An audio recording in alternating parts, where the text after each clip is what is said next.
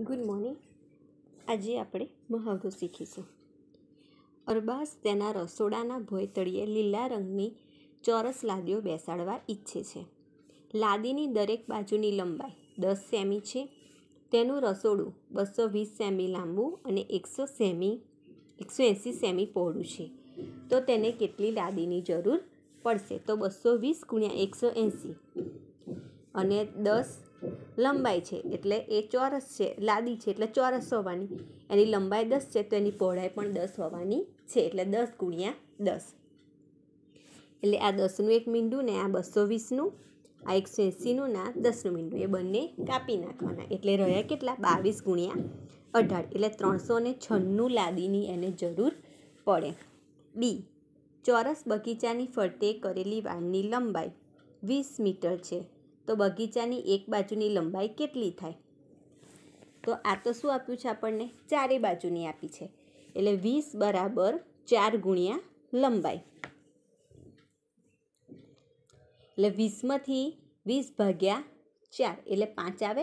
એટલે એક બાજુની પાંચ, બીજી બાજુની પાંચ, એક બાજુની ચાર, બીજી બાજુની ચાર. આ રીતે કરવાનું. એક પાતળા વીસ સેમી લાંબા વાયરમાંથી લંબચોરસ બનાવવામાં આવે છે. જો આ લંબચોરસની પહોળાઈ ચાર સેમી હોય તો તેની લંબાઈ કેટલી થાય?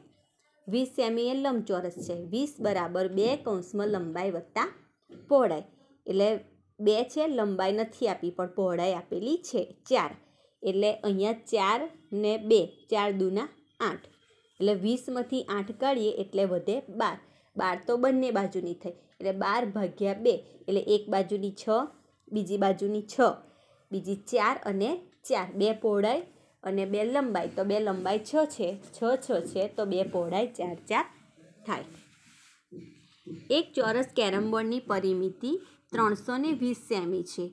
તો તેનું ક્ષેત્રફળ કેટલું થાય? પરિમિતિ આપી છે. એટલે ત્રણસો વીસ ભાગ્યા ચાર. કેમ ચાર? કારણ કે આપણી ચારે બાજુઓ છે એટલા માટે. એટલે કેટલી થાય? એંસી સેન્ટીમીટર એક બાજુની કેરમ બોર્ડની લંબાઈ થાય. એની આપણે ક્ષેત્રફળ શોધવાનું છે.